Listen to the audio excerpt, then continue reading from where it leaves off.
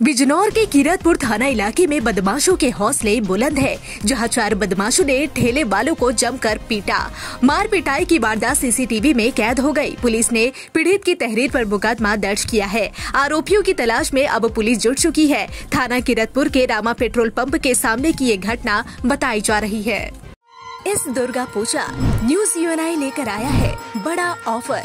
अब आप चला सकते हैं अपना एड वो भी बिल्कुल free. Jio TV play on ई बाबा यूट्यूब फेसबुक अब आप चला सकते हैं एक महीने के साथ एक महीना। वो भी बिल्कुल फ्री तो अब देर किस बात की? ऐड के लिए सीधे संपर्क करें हमारे मेल फेसबुक यूट्यूब कमेंट पर या फिर सीधे हमारे वेबसाइट पर और पाए ये बड़ा ऑफ़र